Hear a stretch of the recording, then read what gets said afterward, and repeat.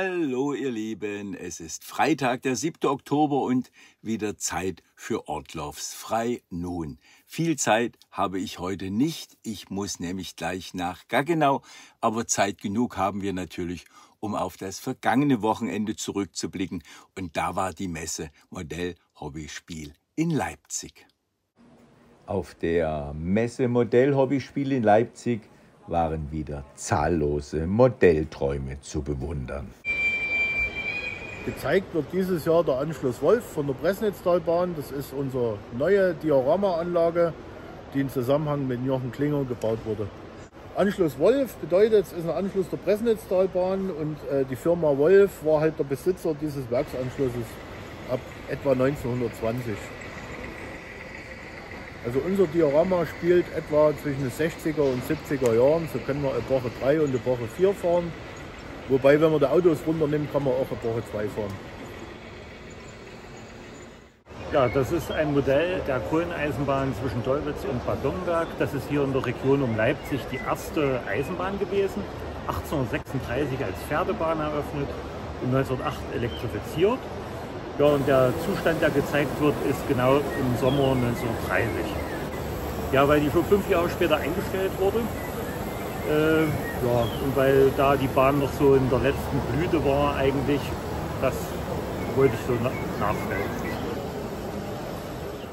Der Beitrag ist auf meinem YouTube-Kanal zu sehen. Darunter gehören natürlich auch Ausschnitte von unserer Anlage und da legt der Sprecher einen besonderen Wert auf die Spur S. Nicht zu vergessen die Baugröße S, Maßstab 1 zu 64, Spurweite 22,5 mm. Hier der Hinweis, dass die Straßenbahn gerade fährt, zeitweise unser Sorgenkind. Und die größte Größe auf unserer Anlage, die Spur 0 mit einem Zug der Firma Zeuke aus den 50er Jahren. Die meisten Fahrzeuge waren bei uns auf der Anlage in der Baugröße S unterwegs, wobei es der Schienenbus besonders eilig hatte. Insgesamt war es eine wirklich sehenswerte Messe und wir kommen gerne wieder im kommenden Jahr. Teile von dieser Anlage sind in Gaggenau an diesem Wochenende zu sehen im Unimog Museum jeweils 11 bis 17 Uhr. Und wenn ihr keine Gelegenheit habt, dahin zu gehen, ich mache auf jeden Fall wieder einen Filmbericht, nicht nur von meiner Anlage, sondern von vielen der dort ausgestellten Tischbahnen. Ihr könnt euch schon darauf freuen. Und jetzt machen wir nochmal einen Ausflug auf den Pilatus, die neueste Entwicklung, aufgezeigt von Michael Mayer. Das sind die neuesten Fahrzeuge, die seit dem 4. Oktober hinauf auf den Pilatus fahren.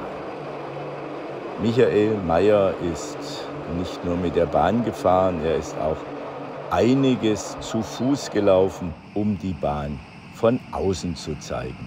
Beim letzten Mal hat er mir geschrieben, hat er ganz schönen Muskelkater gehabt, aber diese Aussicht entschädigt doch eigentlich für alles. Ich denke, dass ich den Beitrag über die alten Fahrzeuge in der kommenden Woche fertig bekomme und dann kann man eine wunderbare Gegenüberstellung machen. Das soll es erst einmal gewesen sein von der steilsten Zahnradbahn der Welt.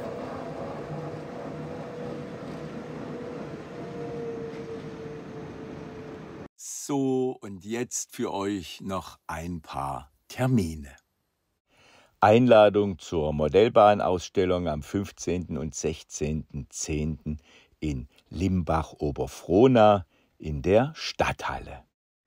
60 Jahre Eisenbahnclub Neubrandenburg wird gefeiert mit einer Jubiläumsausstellung am 14. und 15. Oktober von 10 bis 18 Uhr im überregionalen Förderzentrum Robert-Blum-Straße 36 in Neubrandenburg. Das war heute relativ kurz. Ortloffs frei nun vom 7. Oktober 2022. Falls es noch möglich ist, in Gaggenau ein paar Bilder aufzunehmen, wird das hier im Anschluss geschehen. Ansonsten verweise ich auf meinen YouTube-Kanal, wo ihr in der kommenden Woche viele Beiträge darüber sehen könnt. Das war's von dieser Stelle aus. Macht's gut, bis denn und tschüss.